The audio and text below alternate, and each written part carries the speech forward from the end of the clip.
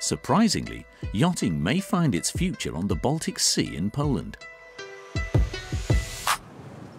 Gdansk, the city of the former Lenin shipyards and the birthplace of the Solidarność trade union, led by Lech Wałęsa, responsible for dismantling the communist regime.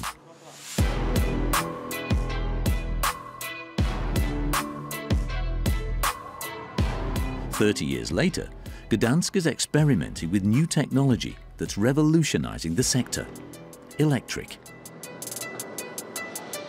At the forefront is Francis Lapp, a Frenchman who left Alsace when the wall fell. In Poland, he made his fortune in construction and started building yachts 19 years ago. Il y a 20 ans en arrière, euh, la Pologne n'était pas trop reconnue pour le luxe. Francis Lapp's story is one of success. Orders are pouring in at his shipyard.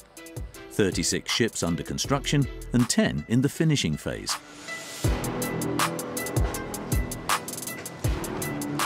Their primary selling point clean energy and environmentally friendly materials.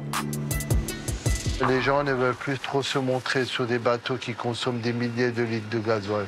C'est pas trop écologique et même des enfants qui disent à leurs parents euh, oui mais t'as vu le gasoil qu'on utilise et tout. euh. Et après qu'on est dans une euh, belle baie avec une eau bien bleue et avec un diesel, un groupe électrogène qui tourne toute la journée, c'est pas trop écologique. Et c'est ça aujourd'hui, quand une fois on a utilisé un bateau électrique, on on va pas revenir en arrière. Francis Lapp has a team of 2,000 employees. In order to remain at the cutting edge of technology, the boss relies heavily on research and development. Ça, c'est le bateau qu'on va vous montrer après en, en production. On va pas trop vous montrer les détails. Secret. Ouais, beaucoup de secrets. ouais.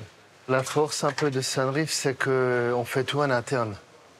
On développe tout en interne, euh, autant que de la coque au mât carbone, aux nouvelles technologies. Tout ça, c'est c'est réfléchi et étudié chez nous en interne. C'est ça un peu la force. Il n'y a pas beaucoup de gens qui ont un bureau d'études aussi grand. hein. Francis' son, Stefan, manages the latest technological innovations. To provide clean energy for the boat's engines, their secret is these unique solar panels.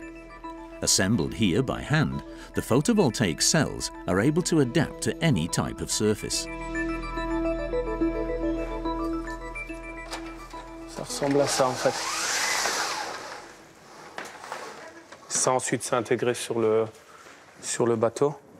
Et là on est euh, sur des panneaux extra souples qui sont, euh, bah, qui sont les plus légers au monde et qui sont capables d'être intégrés à quasiment n'im- n'importe quelle forme. En fait, vous voyez, ils sont, ils sont très pliables. C'est invisible et ultra solide. Francis Lapp takes us to see his greatest pride, his latest innovation, a completely ecological yacht. Alors là, en avant-première. His latest baby, a 24 metre catamaran. It's to be launched in a week's time. The boat will run solely on sail and solar energy. C'est des simples cellules solaires qu'on a incorporées dans la coque et on a déposé un brevet là-dessus. Parce qu'en fin de compte, l'avantage de ces cellules, c'est pas qu'ils sont collés dessus, ils sont intégrés dans la coque. Ça veut dire euh, au niveau de la résistance, vous voyez, on peut taper, on peut taper pratiquement avec un marteau dessus, c'est incassable. Ce qui nous permet de recharger nos batteries et d'avancer écologiquement avec deux moteurs électriques.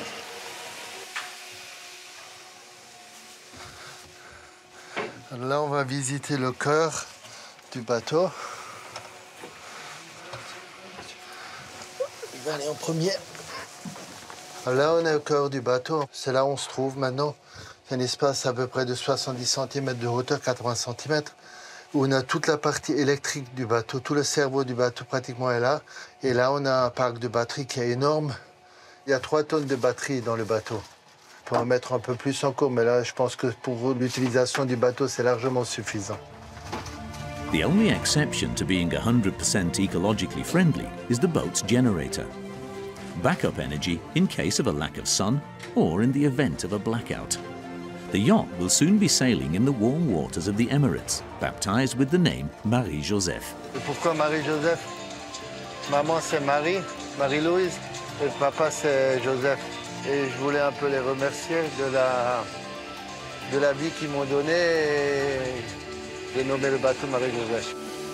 For Francis Lapp, there is no question of selling this boat, estimated at 7 million euros.